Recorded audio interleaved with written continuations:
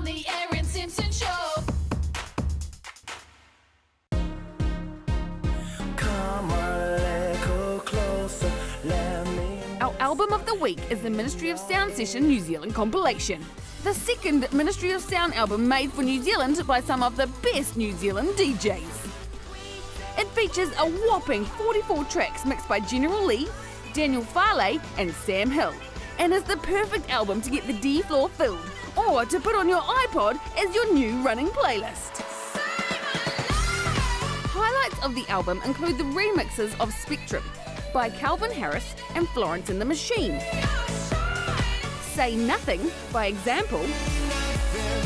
And the epic track Celebration by Kiwi Boys Jupiter Project.